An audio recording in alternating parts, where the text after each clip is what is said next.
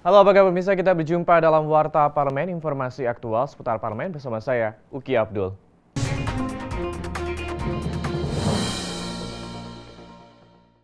Warta Parlemen kita awali dengan informasi dari Komisi 6 DPR RI, dorong pemerintah perbaiki manajemen distribusi cabai. Komisi 6 DPR RI mendorong pemerintah untuk memperbaiki manajemen distribusi untuk mengendalikan harga cabai di seluruh Indonesia dan DPR berharap pemerintah memiliki basis data yang akurat terkait jumlah permintaan dan penawaran cabai setiap daerahnya. Kita simak informasi selengkapnya. Komisi 6 DPR RI mendorong pemerintah untuk memperbaiki manajemen distribusi untuk mengendalikan harga cabai di Indonesia. DPR berharap pemerintah mempunyai basis data yang akurat terkait jumlah permintaan dan penawaran cabai tiap daerah. Menanggapi tingginya harga cabai, anggota Komisi 6 DPR RI Darmadi Durianto yang ditemui di Gedung Nusantara 1 DPR RI baru-baru ini menyampaikan ada beberapa faktor yang menyebabkan tingginya harga cabai di Indonesia. Antara lain, dikarenakan pemerintah tidak mempunyai basis data yang akurat untuk membandingkan jumlah permintaan dan penawaran cabai. Menurut Darmadi, dengan basis data tersebut, pemerintah dapat mengetahui daerah mana yang memiliki persediaan cabai tinggi untuk didistribusikan ke daerah yang memiliki persediaan rendah. Eh, produksinya cukup untuk memenuhi kebutuhan. Nah, pemerintah nggak punya data supply and demand setiap daerah, sehingga akibatnya dia tidak bisa mengendalikan harga cabai. Nah, mestinya ada uh, manajemen distribusi yang bagus, ya sehingga daerah-daerah yang yang oversupply itu bisa dipindahin ke daerah-daerah yang demandnya tinggi tersebut yang kekurangan pasokan.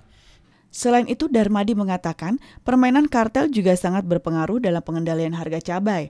Oleh karena itu, Darmadi meminta Komite Pengawas Persaingan Usaha dapat menekan permainan para kartel dan menindak para pelaku sesuai dengan ketentuan hukum. Fungsi KPPU inilah yang harus kita kita uh, dorong agar bisa mencegah terjadinya kartel termasuk kartel beberapa barang pokok termasuk cabai ini begitu. Helmi Darmawan dan Rizky, TVR Parlemen melaporkan. Kita ke informasi selanjutnya, Undang-Undang Disabilitas Nomor 8 Tahun 2016 belum tersosialisasi dengan baik. Komisi 8 DPR RI menyayangkan Undang-Undang Nomor 8 Tahun 2016 tentang disabilitas belum tersosialisasi dengan baik, sehingga banyak pemerintah daerah belum menyediakan program maupun fasilitas publik yang dapat membantu para penyandang disabilitas untuk hidup mandiri. Kita simak informasi selengkapnya. Ditemui dalam rangkaian kegiatan kunjungan kerja Komisi 8 DPR RI ke Kota Balikpapan, Provinsi Kalimantan Timur baru-baru ini, Anggota Komisi 8 DPR RI Desi Ratnasari menyayangkan belum banyak daerah mengetahui mengenai adanya Undang-Undang Nomor 8 Tahun 2016 tentang penyandang disabilitas.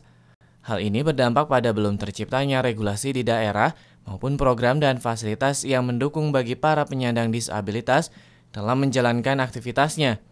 Desi mengatakan menjadi tugas Kementerian Sosial untuk bisa mensosialisasikan undang-undang disabilitas ke seluruh daerah agar para penyandang disabilitas dapat hidup mandiri dan mendapatkan hak-haknya serta dapat berkembang seperti masyarakat pada umumnya.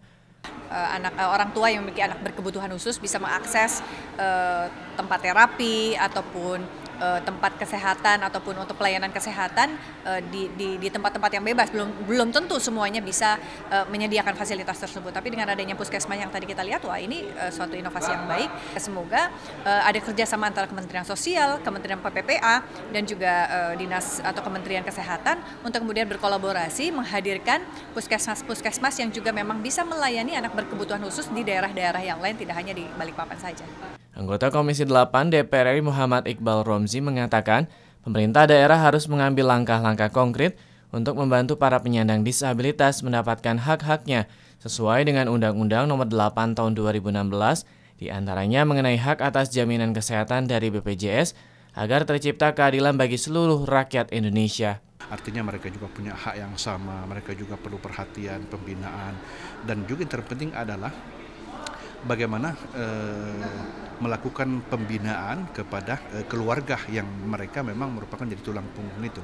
Satu sisi secara fisik juga mereka memang sudah ada keterbatasan. Mungkin beban keluarga juga menjadi berat. Eh, ada ada sesuatu yang tidak adil kalau mereka tidak di cover oleh eh, BPJS dalam hal ini. Kenapa? Keadilan itu untuk semua. Dari Kota Balikpapan, Provinsi Kalimantan Timur, Denus TVR Parlemen, laporkan. Kita ke informasi terakhir, pemirsa Fadli Zon meminta pemerintah perhatikan rakyat Papua.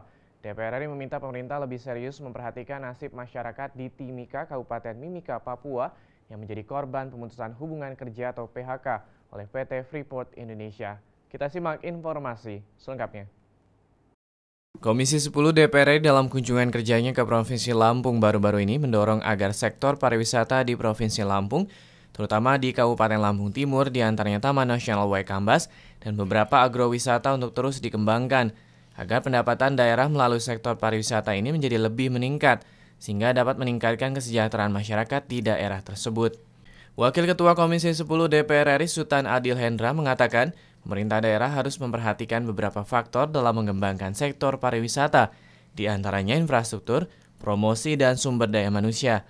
Untuk itu, Sultan menghimbau agar ketiga faktor tersebut bisa diterapkan dalam mengembangkan potensi wisata di Provinsi Lampung, terutama di Kabupaten Lampung Timur, agar bisa dikelola secara maksimal. Dengan demikian, insya Allah mudah-mudahan saya yakin ini akan menjadi nanti sesuatu kabupaten yang cepat pertumbuhan ekonomi masyarakatnya. Kenapa? Karena di sini ada pariwisata yang sungguh luar biasa dan sekarang tinggal bagaimana menggabungkan kekuatan yang ada untuk dijadikan sesuatu langkah yang ini bisa dipasarkan baik di tingkat nasional maupun internasional.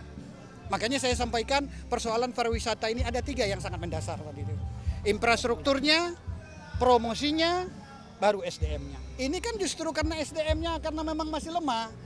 Bupati Lampung Timur Kusnunia Halim mengharapkan pemerintah provinsi dan pemerintah pusat memperhatikan destinasi wisata yang ada di Lampung Timur, khususnya dalam hal infrastruktur akses ke tempat-tempat wisata, karena menurutnya masyarakat enggan untuk mengunjungi objek wisata yang ada di Lampung Timur karena buruknya infrastruktur jalan menuju tempat wisata. Kabupaten kota, uh, maksudnya kabupaten dan desa.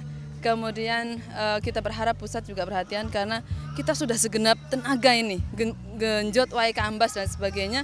Tapi kalau infrastrukturnya nggak dibenahi, akan orang kapok dan sebagainya datang ke sini. Nah, antusias masyarakat luar biasa ini masih kontinu sampai sekarang, tapi lama kelamaan mereka akan lelah karena jalannya terlalu terlalu rusak. Gitu. mendesak pemerintah pusat secara terutama infrastruktur. Kalau dari Kabupaten Lampung Timur, Dodi Muharam, TVR Parlemen, melaporkan. Bisa demikianlah Warta Parlemen edisi kali ini. Sampai jumpa pada Warta Parlemen berikutnya. Terima kasih atas perhatian Anda. Wassalam.